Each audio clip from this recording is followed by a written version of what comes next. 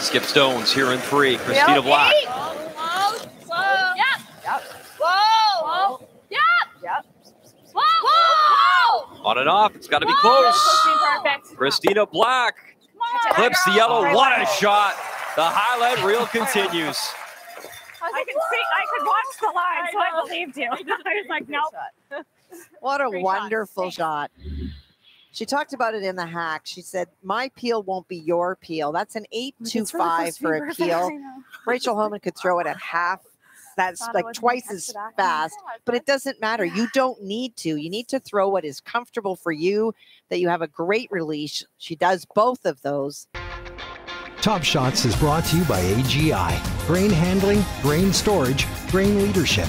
Visit aggrowth.com slash Brier for your chance to win a trip to the 2024 Brier in Regina.